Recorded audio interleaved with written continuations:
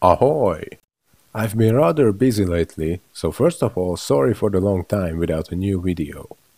But the good news is, here's a little something. An explanation of the various synergies in Battle Mode 3 of Wizard. Now, there are four types. I'm going to list all the stats on the screen and the correct sequence to do them. Burst of Magic. This boosts your critical damage in exchange for some defense useful against almost anything that is vulnerable to criticals. Off limits gives you more critical rate and damage, but lowers your defense.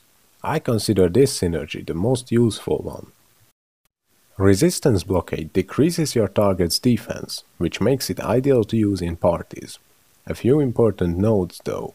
Only the targets hit by your first fatal attack will receive this, and only if the hit is not a miss.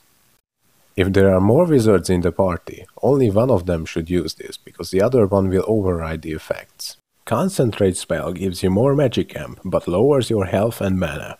It's useful against targets with high critical rate resistance.